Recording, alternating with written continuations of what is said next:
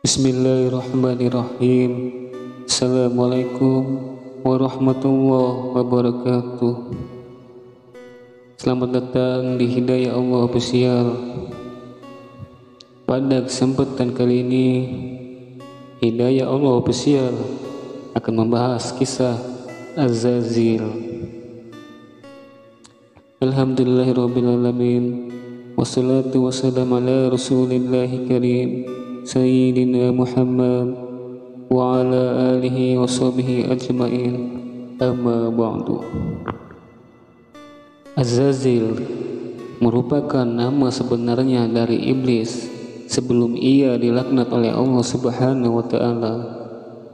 Azazil berarti panggilan besar bagi malaikat.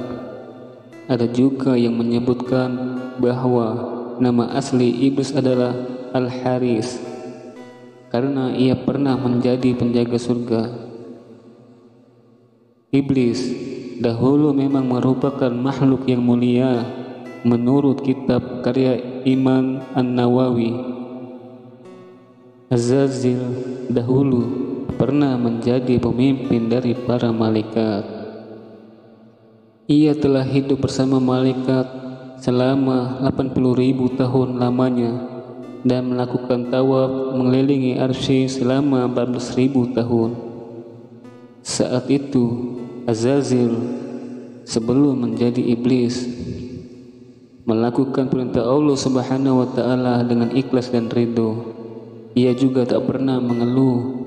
Ia bahkan dihormati oleh para malaikat lainnya di seluruh penjuru langit dari langit pertama hingga langit ketujuh Zazil dulu juga memiliki tugas untuk menumpas para jin yang berbuat kerusakan di bumi.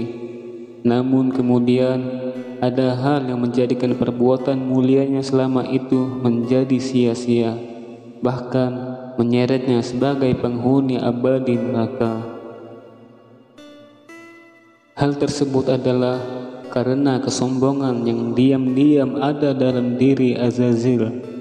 Pertama, ia menyombongkan diri atas malaikat-malaikat lain, di mana ia merasa bahwa Allah Subhanahu wa Ta'ala memerintahkan tugas kepadanya, tak lain adalah karena ia memiliki kelebihan dan lebih unggul jika dibanding dengan malaikat lain.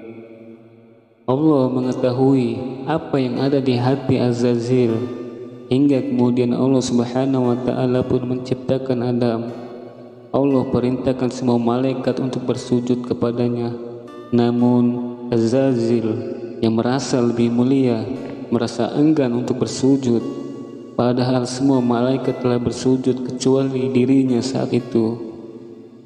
Ia bahkan berani mengatakan kepada Allah Subhanahu wa taala, bahwa dirinya lebih mulia daripada Adam yang mana ia tercipta dari api sedangkan Adam terbuat dari tanah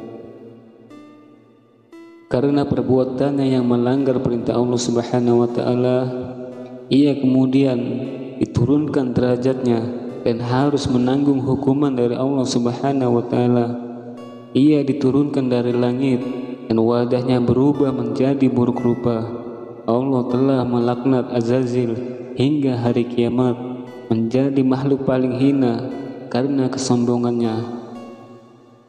Namanya Azazil pun berganti menjadi iblis. Mungkin hanya itu saja yang bisa saya sampaikan. Semoga dan manfaatnya yang benar datangnya dari Allah, yang salah datangnya dari pribadi saya sendiri. Mohon maaf atas segala kekurangan. Subhanakallahumma wa bihamdika asyhadu an la ilaha illa anta astaghfiruka wa atubu ilaik. Assalamualaikum warahmatullahi wabarakatuh.